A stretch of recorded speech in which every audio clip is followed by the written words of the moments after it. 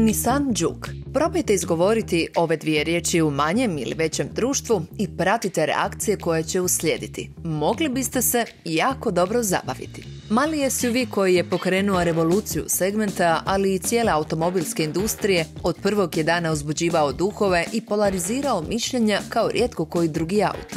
Sada nam se predstavlja u svojoj drugoj generaciji, a ovo su top 5 stvari koje morate znati o njemu.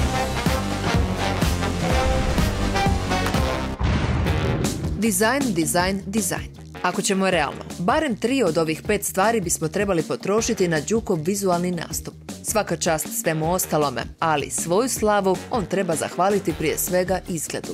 Hrabrom ili ludom, fantastičnom ili odbojnom, to sad ovisi o tome u koju skupinu spadate, ali sigurno je da prema njemu nitko nikad nije bio ravnodušan. Deset godina kasnije isto vrijedi i za njegovu drugu generaciju. Evoluirao je, ali i dalje je sasvim na tragu originala, pa će i dalje sigurno izazvati oprečne reakcije. Prednja je maska malo veća i više u skladu s ostatkom game, a svjetlosni sklopovi sprijeda i dalje su podijeljeni kao i ranije. Na dva glavna velika bloka, gornja u obliku tanke diodne linije i središnja koja u okruglom kućištu krije ledice u obliku slova Y. Straga više nisu uspravna nego položena i izložena malo prema van, pa im je funkcija, slično kao i kod mikre, koliko sigurnosna, toliko i dizajnerska. Sve u svemu, Juke dalje izgleda i drugačije i hrabrije od velike većine konkurenata. Juke je malo narastao izvana, pa je logično da će putnici u kabini očekivati malo više mjesta nego ranije to će i dobiti. Ali ovdje je to detalj koji će ipak primijetiti malo kasnije. Baš kao i činjenicu da je sa 422 litre osnovnog obujma prtljažnih džuka u odnosu na original narastao za poštenih 70 litara. Možda i važnije od toga. Spodnicom koja se da podešavati u dvije etaže i njome odvajati razne vrste prtljage, posebno je praktičan u svakodnevnom životu. Još je važniji Đukov kokpit, koji u prvom planu ima podrezani upravljač, a tu su i ergonomski uzorno posluženi moduli središnjoj konzoli. Središnji infozaslon na vrhu, tri okrugla ventilacijska otvora odmah ispod njega i fizički odvojene komande klima uređaja na dnu. Središnji greben je, kao i onaj izvorni, inspiriran spremnikom goriva na motociklu i dalje je djelomično lakiran. Sada u podnožju ručice mjenjača nosi i trendovsku LED rasvjetu, a kvalitetniji i raznoliki materijali, uključujući prošive na armaturi, daju mu i dozu ekskluzivnosti.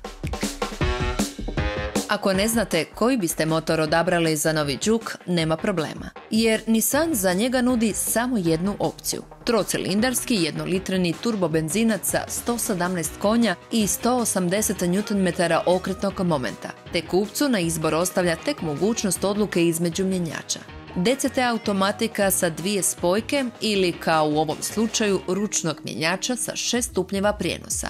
Možda ne najbržeg, ali sasvim preciznog i uglađenog hoda. S ovakvom se kombinacijom Đuk ne očekujete li od njega previše, vozi lijepo i ugodno. S najvećom brzinom od 180 i oko 10,5 sekundi ubrzanja. A nepretencioznu vožnju nagradit će i nižom potrošnjom, za što treba češće birati eko, a rijeđe sport način vožnje. Ipak, treba znati da je CO2 ispuh za 2 grama viši nego kod automatika, te ovdje iznosi 112 grama po kilometru, uz prosjek potrošnje od oko 7,5 litara, kao i da bi ponuda motora uskoro mogla biti proširena dodatnim opcijama.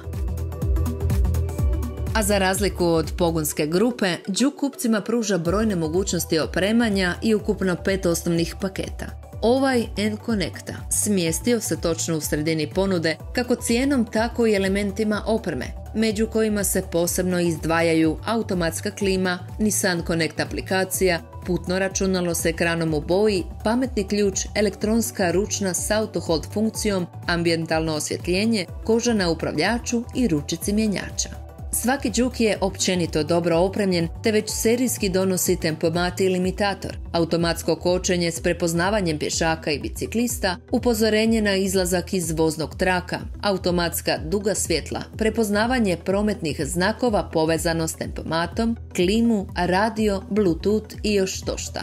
Ovdje nema želja koje se ne mogu ispuniti, treba samo pažljivo birati. Punih 10 godina Nissanu je trebalo da predstavi drugu generaciju Đuka, što kod ovako posebnog automobila zapravo i nije pretjerano čudno. Zadržati sve kvalitete prethodnika, uključujući i spektakularni nastup izvana i iznutra, te pritom ići u korak s vremenom i novim tehnologijama, izazov je kod razvoja svakog novog automobila. Osim toga, ne treba zaboraviti da je Đuk kada se pojavio bio prvi i jedini od svoje vrste, a danas, nakon što je prodan u više od milijun primjeraka, model u njegovoj klasi ima svaki ozbiljniji proizvođač automobila. No, samo manji broj njih može reći da je originalan i prepoznatljiv poput Đuka, koji cijenom starta na 132.828 kuna.